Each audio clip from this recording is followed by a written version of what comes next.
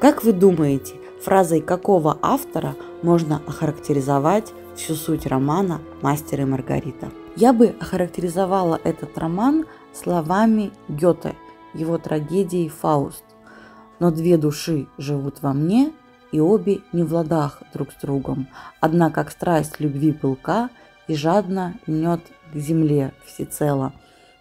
Другая, вся за облака, так рванулась бы из тела. Давайте вспомним, как мастер описывает закрытие своих потребностей.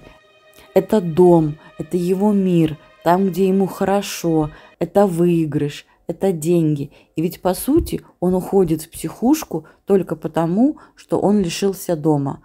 А как мы помним, Маргарите не нужны были ни деньги, ни дом, ей нужен был мастер. И как раз она олицетворяет все это стремление, она подгоняла мастера, она сулила славу. Это и есть ее полет по жизни, стремление к чему-то большему.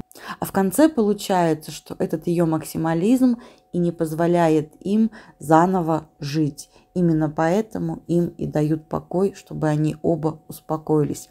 Как вы думаете, угадала ли я концепцию Булгакова? Тем более, что Фауст был его любимым произведением. Пишите в комментариях.